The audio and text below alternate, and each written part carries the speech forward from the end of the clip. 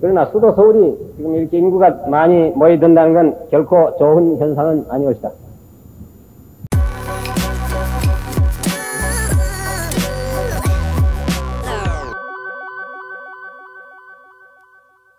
(1971년 4월 12일) 서울 지하철 기공식이 열렸습니다. 박정희 대통령은 수도권 과밀화에 대한 우려를 표합니다. 그러면서도 원활한 교통을 보장하고 상수도 공급, 쓰레기 처리 등을 잘 해주는 것이 시장의 제일 큰 의무라고 강조합니다.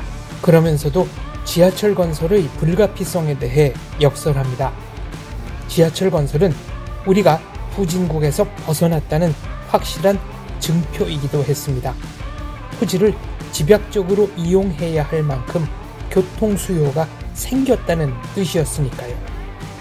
땅 밑에 펼쳐진 새로운 공간은 우리 민족이 미래를 향해 전진하는 입구였습니다. 예, 지금부터 약 600년 전 어, 이태조가 한양성에다가 도읍을 선정할 때에는 지금 우리가 사는 이 서울은 인구가 불과 만 명도 안 되는 허허벌판이었다고 합니다. 내가 어릴 때, 중학교 다닐 때, 금강산 수행, 수학여행을 가면서 처음으로 이 서울을 들러봤어요. 그땐 경선이라고 그랬는데. 시골뛰기가 서울에 와보니까 그야말로 깜짝 놀라서 낮아빠질 정도로 번화한 서울이다 하고 생각했는데 그 당시에 인구가 불과 한 25만 됐다고 그럽니다.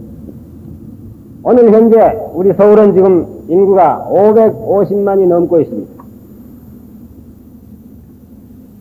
전 세계에서도 10대 도시 중에 하나에 우리 서울이 들어갑니다.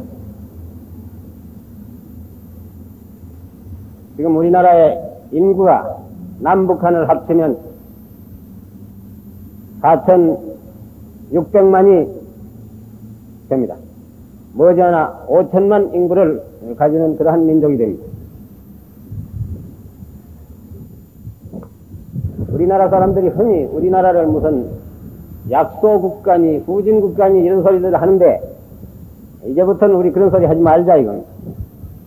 우리나라 인구를 보더라도 세계에서 남북한을 합치면 열 번째 정도 가는 그러한 대국입니다, 우리도. 그러나 수도 서울이 지금 이렇게 인구가 많이 모여든다는 건 결코 좋은 현상은 아니올시다. 아, 이것은 우리나라 서울뿐만 아니라 세계 각국이 이웃에 있는 일본 같은 나라도 동경의 인구가 지금 1천만이 훨씬 넘습니다. 이것은 어느 나라에도 지금 농촌, 농촌이나 시골의 인구가 도시에 집중하는 이런 경향이 있는데 이것은 모두 머리를 앓고 있는 어려운 문제들입니다. 인구가 집중을 하면 어떤 문제가 생기느냐? 여러 가지 어려운 문제가 생깁니다. 제일 먼저 부닥치는 문제가 교통난입니다. 지금 여러분들이 보시다시피 저 수많은 차량들이 지금 저렇게 다니, 다니고 있지만은 시민 여러분들이 교통을 이용하자면 늘 불편하기 짝이 없다. 특히 아침이라든지 오후에 출퇴근할 시간에는 그야말로 교통 지옥이라는 말이 나올 정도로 교통난이 나날이 심각해 갑니다. 그 밖에 인구가 많이 모이면 또 생기는 문제가 주택 문제입니다. 시골에서 올라온 사람들이 서울에 전부 집을 장만해두고 올라올린 만무하고 없는 사람들이 집이 없으니까 저 변두리에 무허가집을 짓는다든지 판잣집을 짓는다든지 또 시내에 들어온다 하더라도 집을 얻기가 대단히 어렵다. 또 550만이라는 인구가 매일 사용하는 이 수도물, 상수도, 또 이 하수도의 처리, 또 여기서 나오는 여러 가지 오물이라든지 청소 작업, 이러한 것들은 이만지만 어려운 문제가 아니다. 여기 지금 서울시장에 앉아있지만은 시장은 뭐 하는 사람이냐? 나는 시장을 보고 그런 소리를 합니다. 여러 수백 가지 할 일이 많지만은 첫째, 시민들의 교통이 편리해야 돼요.